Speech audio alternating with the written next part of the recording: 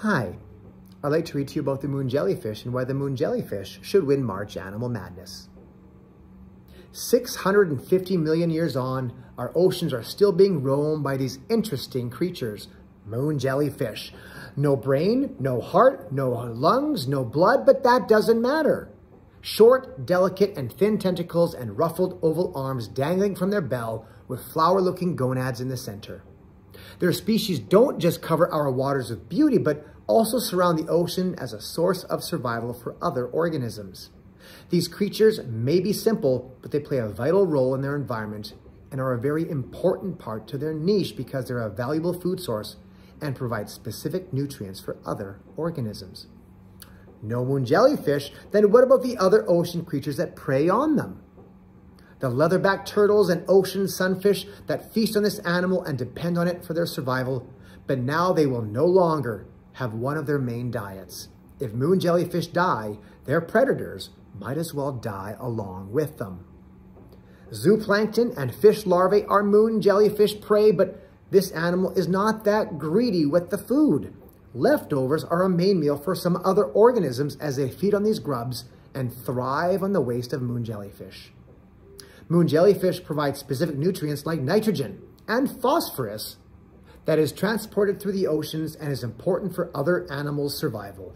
you can almost call these invertebrates a recycling machine. Takes food in and gives food out back to the environment. Symbiosis, a relationship between two animals. This is a relationship that moon jellyfish share with small creatures. Amphipods, for example, swim close to the tentacles of moon jellyfish as a source for protection. This way, no larger predators will get to them. With all the small creatures surrounding this animal, it also means they have consumers to eat after their leftovers. If moon jellyfish were out of the picture, then what about the overpopulation of other animals? Invertebrates that control the population of organisms make sure that their species won't overrun our waters and that is why it is essential for them to feed on specific species. When no moon jellies remain, the population of fish larvae and eggs get out of hand. They are a key to help maintain and balance out the population of other organisms. Moon jellyfish, elegant and mysterious. Their lives do not result in laziness nor ignorance. Instead, they work hard, even in silence, to maintain a balanced and healthy ecosystem, becoming a source for animals to live. The moon jellyfish have made it this far in the competition already.